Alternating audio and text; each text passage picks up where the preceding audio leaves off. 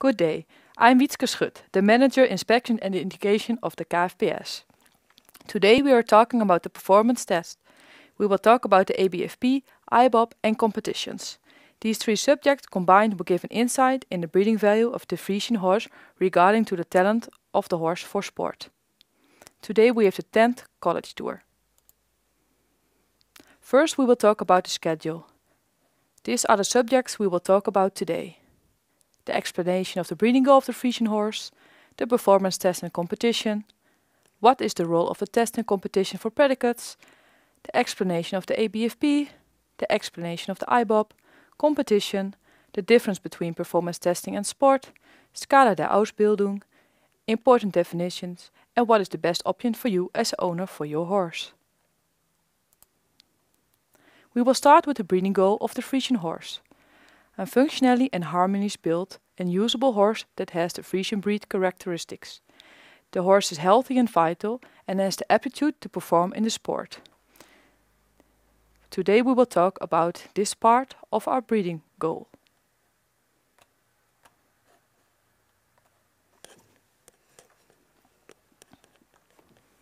How can we measure this aptitude to perform in the sport in our breeding program? As a foal, you can start with an inspection. The foal will show itself in free movement. Three years later, you can go to, the, to the inspection for the inclusion in the stud book. The horse is still looked at in free movement, but now on a rope. This, these on the rope and in free movement are both predictors for the talent of the horse in the sport. Between the aptitude of the sport and the foal inspection is a great difference. This gap is smaller with a three-year-old, but still the gap is too big. Both are ways to judge a horse without a rider or a driver. There is a big difference in the outcome of the predictability between the free movement and the movement with a rider or driver. The outcome shows a lack, lack of practi practicability. The performance tests are the answer for this solution.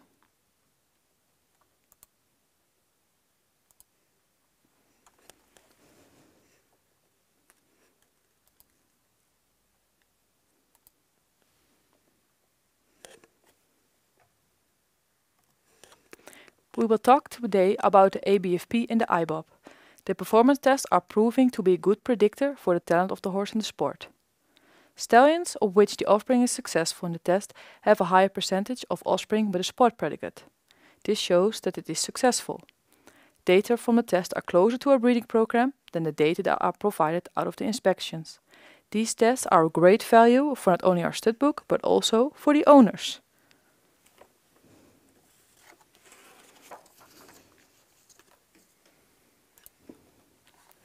Next we will talk about the sport and the sport elite predicate as a source. Out of the data that is given by competitions, we also are trying to establish the tenet of your Friesian horse. A horse can get a sport predicate and a sport elite predicate. Compe competitions are not organized by the stud book. Competition therefore have different goals. Later on I will sketch the difference between the performance test and the sport.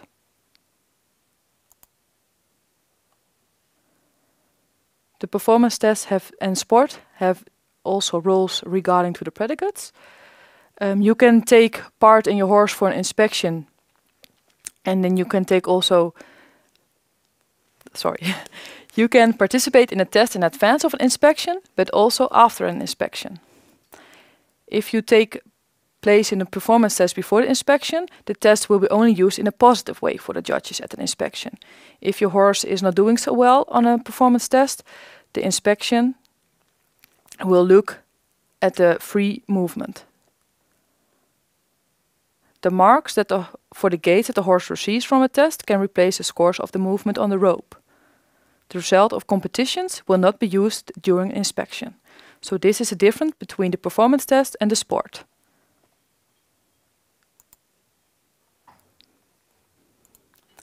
You can go also from a prof provisional to a definitive predicate. The tests are also meaning to go from the provisional predicate to the definitive qualification. We can look at the provisional star. If a horse receives a 6.7 on the walk and a trot, on average a horse can get a definitive star predicate. The grand total is unimportant and the provisional to definitive predicate is not possible with the sport predicate. If we are going to look at the provisional crown and model, a grand total is necessary of 77 points and a 7 on the average on the basic, basic gaits. Also, the, the number, the 6, cannot, on the basic gaits cannot be lower than a 6. The difference between the provisional star and the provisional crown and model predicate is that this, the provisional crown and model, is possible to receive with a sport predicate. If you have a horse that is going from a provisional to a definitive predicate, it is a mixture of the exterior and the movement of the horse. So this combines and it comes together. Also, if you are breeding and your mare has enough offspring, the performance dam predicate can be awarded. Your dam has to have at least three offspring which have acquired a sport predicate or have completed a performance test with a minimum of 75 points. Also, a combination of sport and test is possible to achieve this performance predicate. I will give you an example. You can get a horse with one IBOP of 75 points. The hor another horse has a sport dressage predicate and another horse has a sport driving test.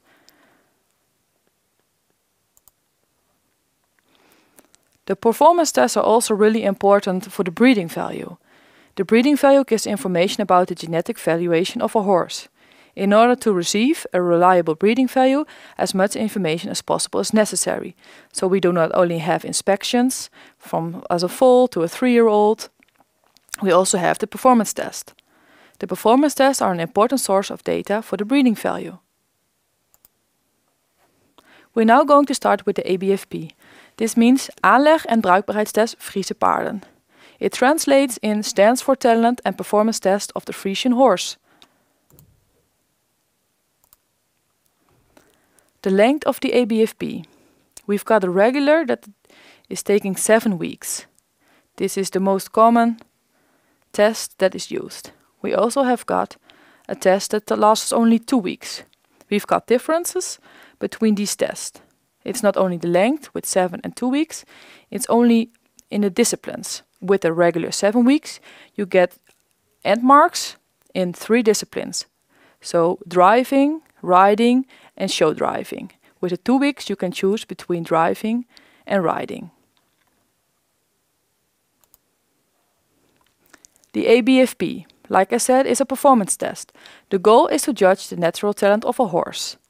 The horses are trained in groups and under the same conditions.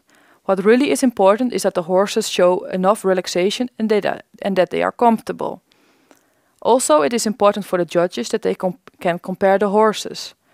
The ages vary between 3 and 5 year old. Other, older horses can be sent to an ABFP test, but they are less regular. The ABFP is an easy way to get information about the talent of your horse in three, three disciplines in a short period of time. Like I told you, the joint offspring evaluation is also part of the ABFP, and that we are going to talk about now. The offspring evaluation.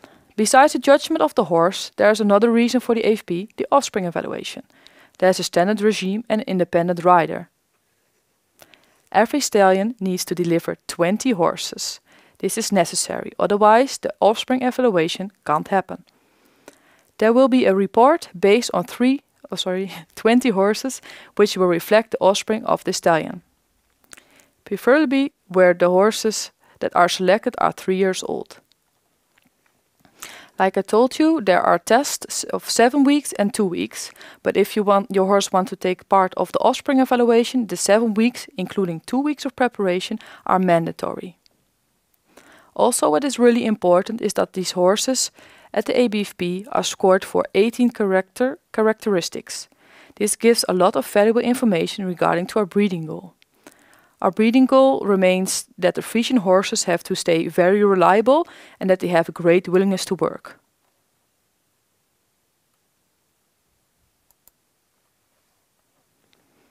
If you horse on the ABFP, it first can settle down. So in the first three, four weeks, the horses will not be reviewed. There are, at the end of the ABFP test, a total of four reviews. The horse will show itself two times on the saddle and two times as a harness and show driving horse. During the short test of two weeks, the horse is looked at at a maximum of three times. The progress that the horse will make or not is reflected in the marks. So if your ho horse shows a lot of progress, the marks can be higher. If the horse is showing less progress, the marks should be lower. After each last review, there will be an explanation given by the judges regarding to the marks of the horse. For the riding and driving test, there's an end total. Horses that are taking the ABFT, ABFP test receive a separate score for potential as a show driving horse.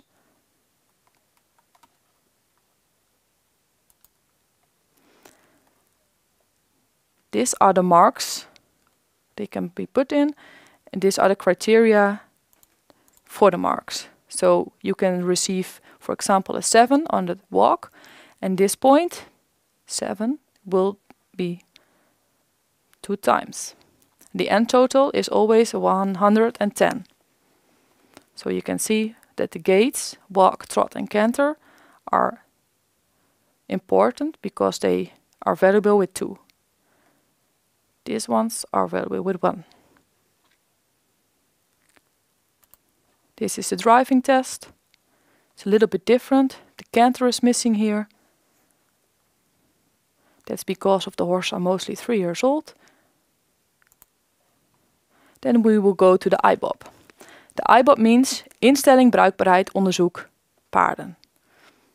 It slowly transla translates in stands for effort, suitability test, Friesian horses. The IBOP has simply set the same goal as the ABFP, to judge the horse natural talent. There are also a lot of differences. With the IBOP, you train the horse individual. You can train the horse as long as necessary. There's no time frame. You can choose your own rider and your own trainer. The IBOP can only take place for horses that are four years and older. If you have an if you have an there's one test. That test has to be ridden or driven for that horse. We've got three different IBOP tests. The riding test, the driving test and the show driving test. This test is just a simple way to show the natural gaits of the horses to the judges. It is not important that the test is completely perfect we are showing here and again the walk, trot, canter, carriage and balance, agility, transitions, impulsion and total. This is the same as with the IBOP of ABFP, I'm sorry. This is the driving test. Here is included the canter, so that's a little bit different. And that's because of the ABFP and the IB, IBOP horses can go from four years and older.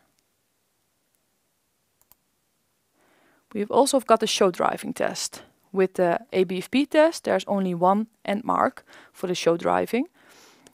With the IBOP, you have a separate test, so the horse gets an end total and not just one mark. It's the walk, it's one time, and the trot is divided in use of front legs, use of hind legs, and movement of suspicion.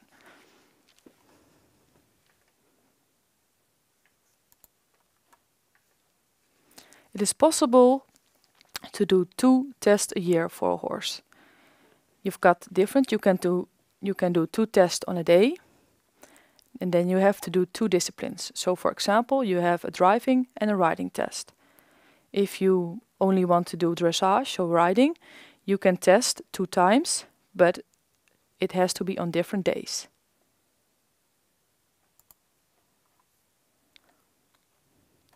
If you choose the IBOP, it is really important that you see what the influence of the driver and the rider is. You can choose it as an owner. You want to make the best possible case for your horse, so a poor driver or rider can make it worse for you. A good rider can camouflage the shortcomings of the horse. The job of the rider driver is to make sure that the natural talent of the horse is seen as good as possible, so the judge can make a good conclusion. But you have to be careful because horses will not inherit the rider, but they inherit themselves. So if you have a really good rider, but not a really good horse, then the points can be very high, but the horse will not inherit the rider, but itself. From this year, January, we've got a new test. This test is a little bit more short and more flowing because of our target audience are mostly young horses and or pregnant mares. We've got a lot of symmetry in the test so that the horses can be looked at uh, both as left and right. What we've got also new are the, are the A's. I will here try to explain the A's. It's just from a number from 73 points, then you get 1A. If the horse gets below the 73, you will receive no A. If the horse will get a double A, it's between these points. And if you get a triple A, the horse gets 82 points and higher. As owner, you will get a certificate with the points and the marks for every gait. On the studbook paper, only the A's are mentioned and not the scores.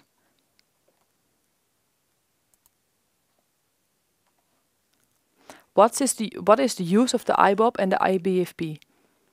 For you as owner, it is important to determine the breeding value regarding to each discipline and the natural talent of the horse. This is important for you, not only for the user of the horse, but only if you want to breed with this horse. Also, like we talked about for the stud book, it is important that there is an offspring evaluation. Also for an owner, it can be important to look at the offspring evaluation.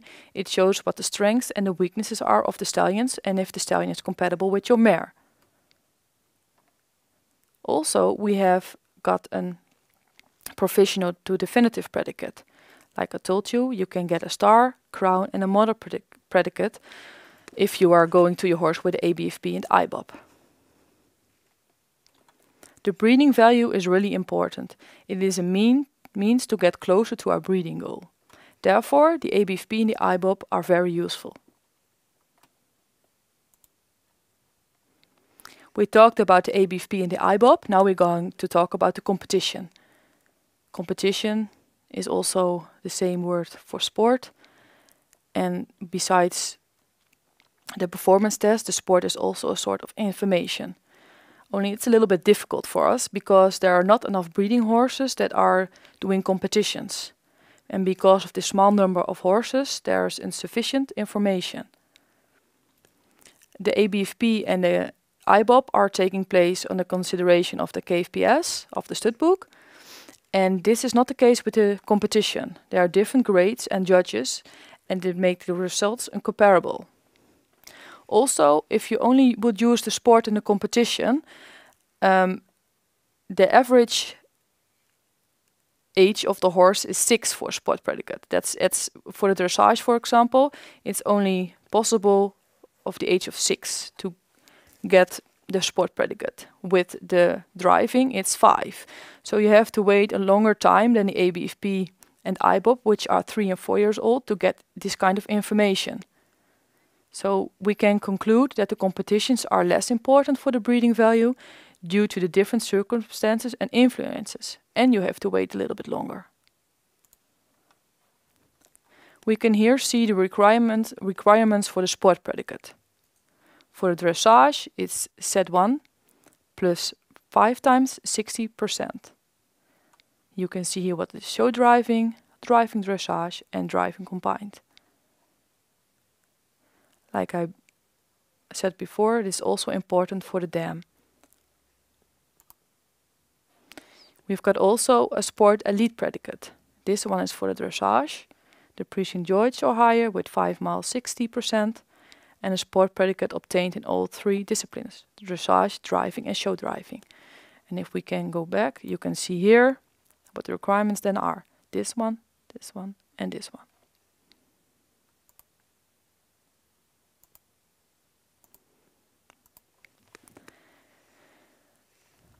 We've got a great difference between the sport and the performance test. But the information from the sport can also be used for data. However, with the performance test, it's more about the natural talent and the natural gait of the horses that is important. In the competitions, different subjects are taken in consideration. For example, if you go straight to the AC line, you have to go straight forward and that's uh, really important for your mark. If you're going to an ABFP or IBOP test and if the horse is like this, it's not important because they will only be looked at the, at the gait and how the horse is carrying itself and so that's a great great difference. Also the test is is with the performance test only a mean to show the capabilities of the horse. In the sport the test itself is really important. How longer you ride a horse or you train a horse, the more influence the rider and the driver are getting on the horse. And like I said before, the horse will inherit itself and not the rider. So if we're using data from the sport and, and competitions, it's also a little bit of data from the rider. And we only would like to have data from the horse because that's what you are breeding with. We're going to look at the Skala der Ausbildung. We will use the Scala not only for the ABFP, but this is also used for the guideline of the competitions we use the scala to become to a point. So to give a mark, you will go to the scala and see if everything is correct and how correcter it is, how higher your mark will be. These are the criteria for the scala. You've got rhythm, relaxation, connection, impulsion, straightness, and collection. For the sport predicate, all six are important. If you're looking at the performance test, these three are more important and also impulsion. This one is mostly for higher educated horses and therefore are a little bit difficult to judge with a performance test. Like I told, the scala is really important. So we will start, as you see, the scala with the rhythm. And the rhythm is takt. That means beat. So if you're going to look at the walk, it's really important that the horse has a four beat gait. If the horse has a four beat, then the mark can be a six or higher. If it's not a four beat, then the mark always be lower than a six. So this is where you start. Then you can look at the rhythm and the regularity. That has a lot of influence on the four beat. And all this means that all paces have to be as long uh, left and right and front and hind. What also is really important is that the hind leg is chasing away the front leg. Also bending and activity of the hock and length coming on the hind leg over track and ground cover. So it's important that you remain a four beat, but the more ground cover the horse will take, how high the mark can be in the walk. Therefore, it's also important for a horse to move from the shoulder. If a horse is not moving correct from the shoulder, it has a short step. So, and if it's using this, it uses his body, and you will get also a higher mark on the walk. For the rider and the trainer, it's really difficult to make the walk better. The walk is a natural gait, and you can not control it very well. So if a horse has not a good walk, it's really difficult to get a high mark because you cannot camouflage this. We will go to the trot. Again, we will go to the beat because that's really important. And we are going again to the rhythm, regularity and the suppleness. In the trot, it's also really important that you see the position of the hind legs. You want a horse that is really moving forward with the hind leg, not only like this, but moving forward. Moving like this is also important, and that you can see that uh, with, the with the walk, I will show you.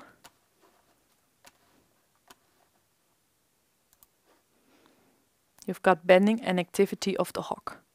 It's a little bit less important in the trot because we've got here self-carriage, but it's also is a meaning of uh, the use of the hind legs. But it's really important that the horses is like doing this and then moving forward. The horse has to be good in balance, so if you are doing figures, the movement should stay the same. Then we will go to the canter. First we are going to check which beat this gait has and we see that it's a 3 beat. Then we're going to check the rhythm, regularity and the elasticity of the horse. Also for the canter it's really important that the canter is jumping uphill. it's important that the horse is going to a lot of extension and ground cover. What also is important that both left and right are the same. It's important that there's not much difference between left and right canter. Then we're going to the next. This is not a gait, but we are now going to check all the boxes that are have to be filled in for the IBOP and ABFP.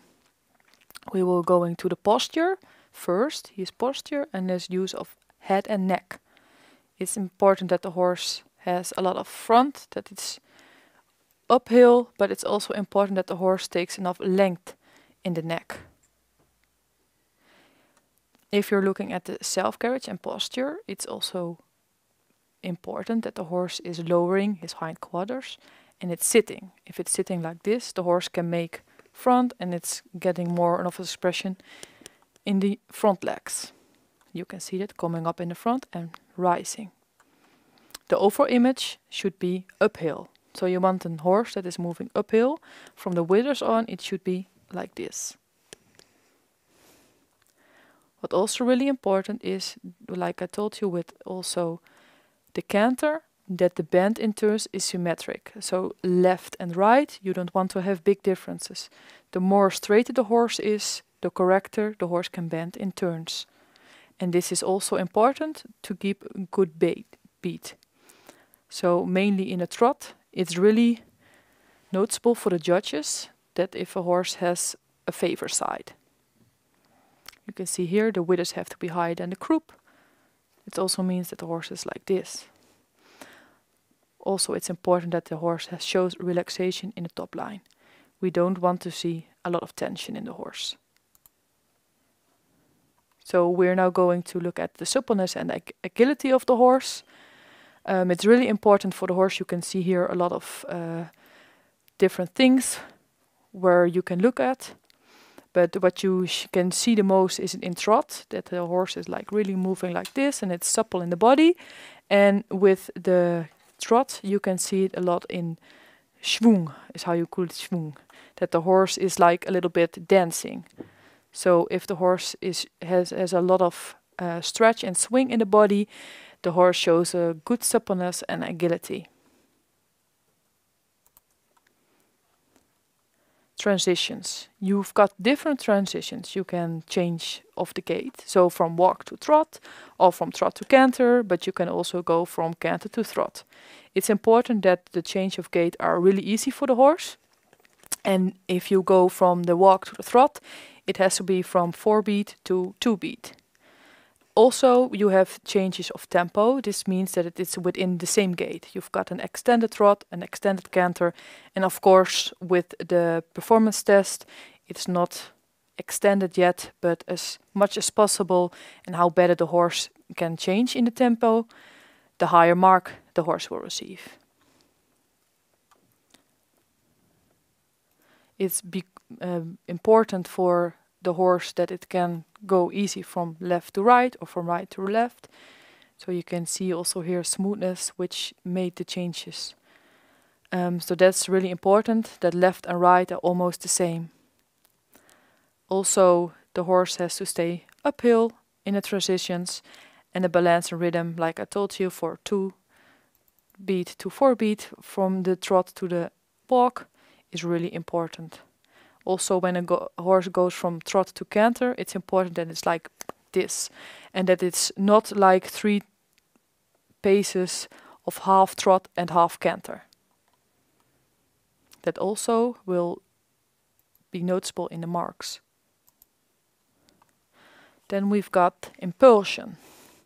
We've got here the definition of impulsion. It's the controlled and pushing power and carrying power and the energy is created by the rider, a driver, in the hindquarters. Also, the desire to move forward is really important in a horse and the willingness to work. So a little bit of character is also being taken in consideration for this point. You can see here, the character of the horse and the willingness to work. But we use also the term happy athlete. So if you are sitting on a horse or Eh, in a carriage behind the horse, it's important that the horse wants to work for you and it shows that the horse has no problem doing it for you. Now we're going to talk about the show driving. And we've got specific terms for the show driving. We've got here use of the front legs. If you are a show drive, if you have a show driving horse, it's important for the horse that is a lot of movement in the front legs. So here's also again a definition. You can read it for yourself. And um, so this is what we would like to see in a show horse. And it's not only from the knee, but it's also from the shoulder that you get as much movement as is possible. And who bigger the movement is, how bigger the mark. Then we've got the use of the hind legs. We've got uh, criteria here. You see here again strong bend in the hock.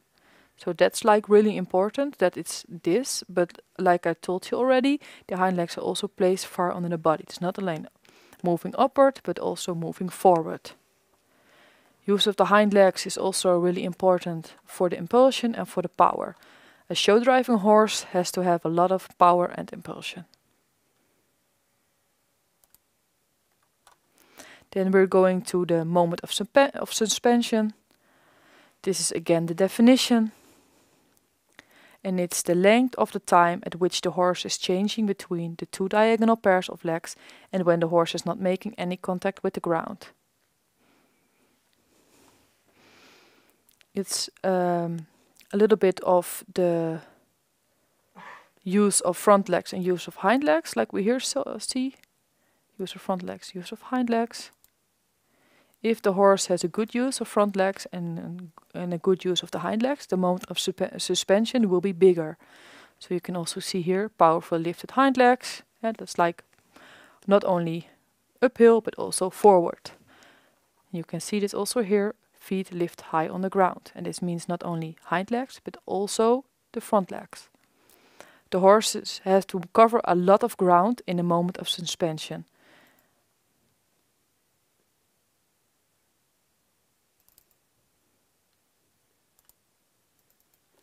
What's also really important for a show driving horse is its front.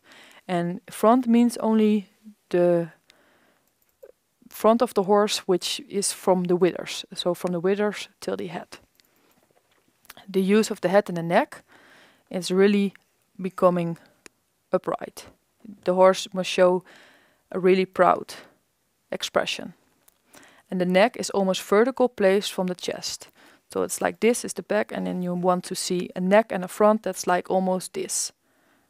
This is necessary and it's only possible if the hindquarters are used well and are under the body and uh, going a lot of track bent in the hock and with a lot of movement from the front. So not front, from the hind leg.